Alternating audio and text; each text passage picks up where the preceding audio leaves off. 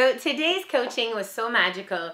A new client and the pivotal moment was just about expanding your mind. So this woman is a peak performer, went from in education and promotion after promotion after promotion, making really great money.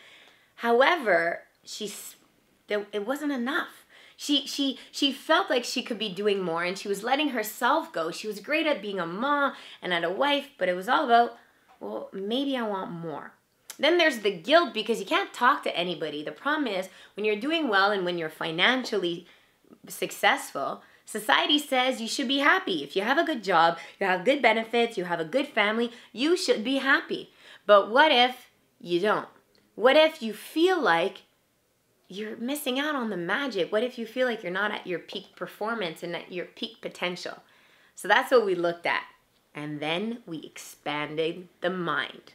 We expanded the mind into saying maybe the result is not to pivot from a great job to another job, which is you're basically you're becoming an entrepreneur, but you're still not making a big difference financially.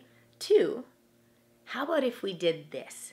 How about if what she truly wants is independence? How about if we actually make her as a professional because she's the best in her game?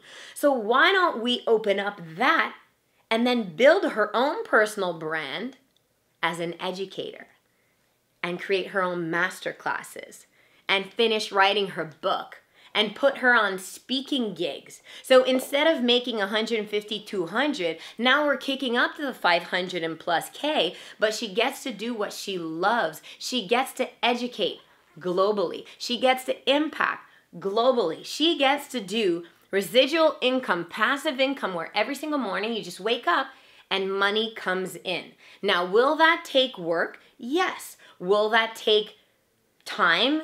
Yes.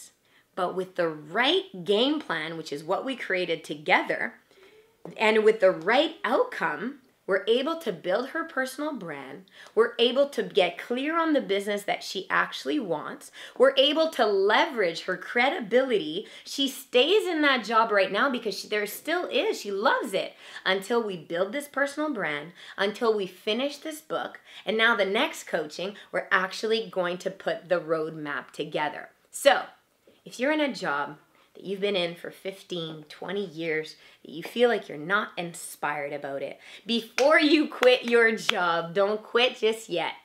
Let's coach together and let's get clear on what's the next pivot, what's the big leap. And it doesn't just have to go from one to the next. We expand your mind, give you di- different options, and then we let you sit with it. And we let you discover what gets you excited, what gets you energized, and what makes you want to create magic. We finish with one thing. How do you manifest? You manifest from that space. Once I get you to the space of, oh, it's possible for me. Once I get you to the space of, I'm excited about it. Once I get you to the space of, oh my God, this is actually possible. Then guess what's to happen? You're pivoting your energy. You're coming across for somebody that knows that you can actually achieve it. We're shifting your identity and bringing you into such strength and such beauty and such power because guess what? You're moving towards your passion, your purpose, your gift. So that's it. That was today. It was epic, it was beautiful, and it was magical. And now she gets to go back, journal, and then create the big picture.